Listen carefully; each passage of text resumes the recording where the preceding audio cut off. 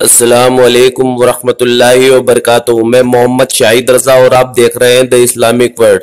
मेरे अज़ीज़ दोस्तों आज की वीडियो में हम जानेंगे हज़रत अली की बतलाई हुई ग्यारह निशानियाँ जो एक बुरी औरत में मौजूद होती है। इन ग्यारह निशानियों को देखकर आप, आप पता लगा सकते हैं कि ये औरत बुरी है और ऐसी औरतों पर अल्लाह पाक की लानत होती है।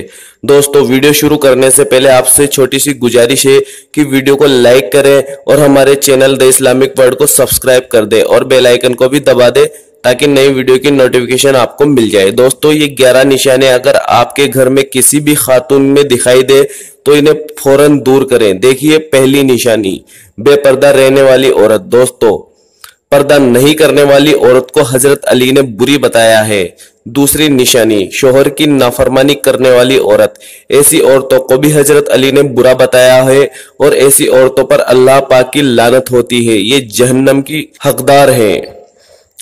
तीसरी निशानी, बदजुबानी करने वाली औरत। दोस्तों, बदजुबानी और गाली गलोच करने वाली औरतों को भी हज़रत अली ने दुनिया की सबसे बुरी औरत बताया है। ऐसी औरतें भी जन्नत से महरूम रहेगी। चौथी निशानी, बालों को खुला रखने वाली औरत। दोस्तों, बहुत सी औरतें पब्लिक में या गैर मरहम के सामने अपने बालों की नुमाइश करना पसंद करती है और इसे फ़ैशन समझती है। ऐसी औरतों पर अल्लाह पाक की लानत होती है। पांचवी निशानी, खुद को अक्लमंद समझने वाली औरत। ऐसी औरत को भी हज़रत अली ने बुरी बताया है। छठी निशानी, ज़रूरत से ज़्यादा बोलने वाली औरत को भी हज़रत अली ने बुरा बतलाया है। जितनी ज़रूरत हो, उतनी ही बात करे तो बेहतर है। सातवीं निशानी जो हज़रत अली ने बताई है, वो है ज़्यादा सोने वाली औरत। जी हाँ दोस्तों, ज़रूरत से ज़्यादा सोने वाली और आलसी औरत को भी हज़रत अली ने बुरी बताया है। आठवीं निशानी चिल्लाकर बात करने वाली औरत। ऐसी औरतों को भी हज़रत अली ने बुरा बताया है। नवी निशानी। बारीक लिबास पहनने वाली औरत। दोस्तों, ऐसी औरत जो कपड़े बारीक पहनती है और अपने बदन की नुमाइश करे, उसे हज़रत अली ने बुरा बताया है और ये जहन्नम का ईंधन बनेगी। दसवीं निशानी।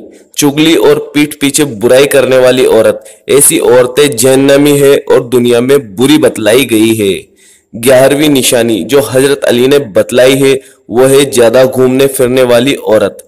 तो दोस्तों, ये थी हज़रत अली की बताई हुई बुरी औरतों की ग्यारह निशानियाँ। अगर आपके घर में भी इनमें से एक भी निशानी किसी खातून में नज़र आए तो उसे फ़ौरन दूर करें, वरना आपका घर बर्बाद हो जाएगा। अल्लाह तबारक व ताला से दुआ है कि दुनिया की हर मुसलमान औरत को इन सभी चीज़ों से बचने की तोफीक अता फरमाए। आमीन।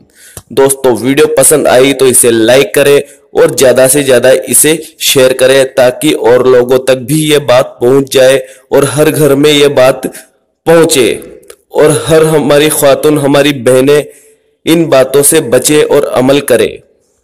कल हम फिर से हाजिर होंगे एक और नई वीडियो के साथ। तब तक के लिए खुदा हाफिज।